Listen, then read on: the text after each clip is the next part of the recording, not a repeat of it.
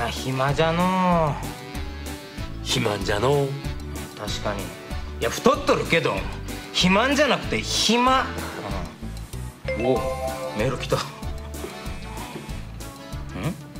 わすげえ。ん？素人ギャルの秘蔵映像無料大公開？なんじゃこりゃ。アダルトサイトやろお前ちょっと見てみようやえなんで俺が見んといけんのんや。いやいいじゃん無料って書いてあるんだし。ちょっとだけ見てみようや。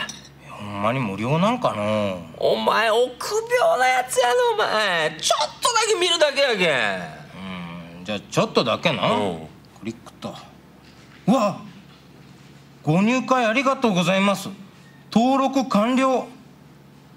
お客様の携帯端末情報を登録しました。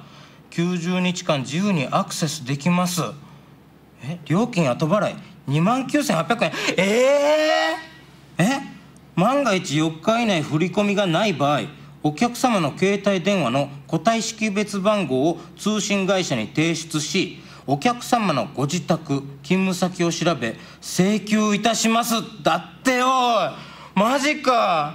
これ絶対払わんにゃいけんのかの。うまあお客様の情報を調べてって書いてあるんだけまあ会社や住所知られるぐらいなら払った方がいいんじゃない？ご出所様。お前無責任すぎるわ。ちょっと待って！銀じます。とってもエッチなアダルトサイト覗いてみたい気持ちはわかるが見たらワンクリックで高額請求。こんな請求ないと思います。その通り。興味本位でよくわからないメールを開いたりアクセスしたりしないようにしましょう。無料とかキャンペーンという言葉に惑わされてもダメ。クリックしただけでアダルトサイトに登録されて登録料や情報料を請求されるのがワンクリック請求の手口です。登録情報を他のサイトに横流ししたり脅迫まがいのメールが届くこともあります。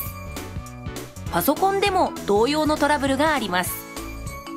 そこでそういったトラブルに巻き込まれないためのポイントをご紹介します。興味本位でよくわからないメールを開いたり記載された URL にアクセスしない。無料という誘い文句に惑わされない。請求画面が出ても慌てて業者に連絡しない。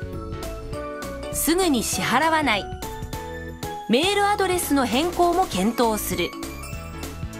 不当な請求をされた場合慌てて代金を支払わず消費生活相談窓口に相談しましょう。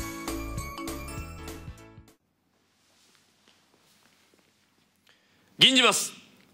出会い系やアダルトサイト。アクセスしたら登録料払えとメールが届く。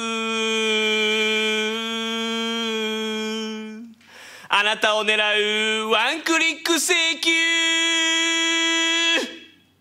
こんな危険あると思います。